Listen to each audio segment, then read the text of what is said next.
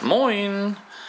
Jo, ähm, bin gerade mit dem Abwasch fertig geworden und, und habe dabei das Real Steel Kochmesser äh, mit abgewaschen. Und dann dachte ich mir, ich könnte mal wieder äh, ein kleines Update-Video zu diesen, zu diesen Real Steel Kochmessern machen.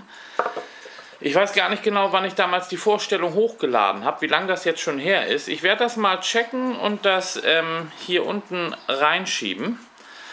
Beziehungsweise den Link findet ihr auch dann unten in der Videobeschreibung. Zu diesem Modell äh, habe ich schon mal ein Update rausgehauen vor einiger Zeit. Das ist dann das 8 Zoll ähm, Chef Knife mit diesem, ja, mit diesem Walzdamast nenne ich das mal. Viele haben damals bei der Vorstellung äh, in die Kommentarliste geschrieben, dass das kein echter ähm, Damast ist. Und da haben die natürlich völlig recht. Äh, das ist halt, da wurden ein paar weichere Stahlsorten äh, auf den VG10 äh, aufgewalzt, sodass man eine ja, elastische äh, Schneide hat, aber halt, beziehungsweise äh, Klinge, aber eine, eine ähm, schnitthaltige ja, Schneidphase. Wie gesagt, das habe ich schon mal vorgestellt. Ähm, das ist wirklich toll. Das hat sich bisher sehr, sehr gut geschlagen. Beide Messer kommen mindestens einmal in der Woche äh, zum Einsatz. Ich rotiere da immer ganz gut durch. Ähm, was ich über beide sagen kann, ähm, der Stahl ist relativ schnitthaltig. Ähm, schon eine Ecke schnitthaltiger als das Zeug, äh, äh was man jetzt so bei 50 Euro ähm, Messer von, von aus Solingen bekommt. Ist jetzt aber auch nicht super mega schnitthaltig. Aber wenn man da mit japanischen Messern arbeitet oder mit den, den hochpreisigen Solinger, äh, die dann auch noch spezielle äh, Stähle haben, besonders echten Damast, ähm, da können die nicht mithalten. Was halt schön ist bei diesem europäischen Modell, ist dieser G10-Griff. Der ist wirklich schick, auch nach vielen, vielen Benutzungen. Ähm, oft abwaschen, ähm, sieht das alles noch schön aus. Und wirklich sehr, sehr rostträge ist das Zeug.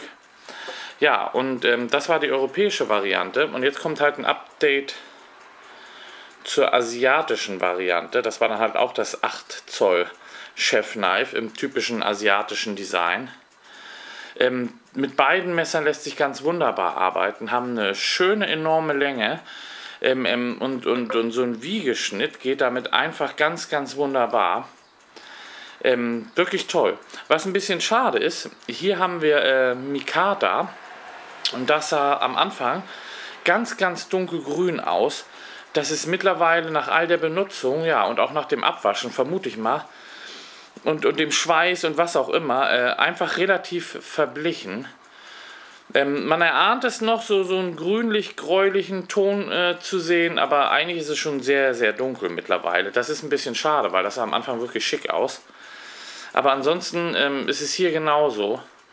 Ähm, sehr, sehr rostträge, ähm, anständig schnitthaltig und alles wirklich sauber verarbeitet. Nach der ganzen Benutzung, äh, ja, da hat Reels die wirklich tolle, tolle Messer rausgehauen. Äh, seinerzeit. Und, und ähm, wer da zugeschlagen hat, die gab es dann ähm, mitunter äh, im Angebotspreis für 40 Euro. Der hat einen tollen, tollen Deal gemacht und ähm, ja, Schöne, schöne Küchenmesser. Ähm, halten die Schärfe, wie gesagt, ganz anständig. Ich halte die ähm, eigentlich so gut wie immer nur über, über ein Leder oder ein Jeansbrett oder ein Bettstahl scharf. Und äh, wenn man das gleich danach nach der Nutzung mal kurz macht, dann reicht das auch. Jo, nochmal ein kleines Update ähm, zu den Kochmessern. Leider nicht mehr zu beziehen. Ähm, vielleicht legt Real Steel die ja nochmal auf. Äh, sind echt zu gebrauchen. Alles klar, das war's. Bleibt gesund. Peace. Ich bin raus.